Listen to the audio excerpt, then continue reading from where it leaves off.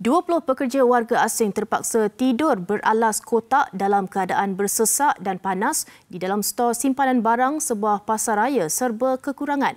Malah mereka mendakwa terpaksa membeli tikar getah untuk dijadikan alas tidur di premis milik majikan warga Bangladesh bergelar Datuk Seri itu. Penderitaan pekerja warga asing itu terbongkar selepas Jabatan Tenaga Kerja Semenanjung Malaysia JTKSM menjalankan operasi Bantras Mega. Ia bagi membantras isu buruh paksa dan pemerdagangan orang di premis terbabit di Bandar Tun Razak, Ibu Negara.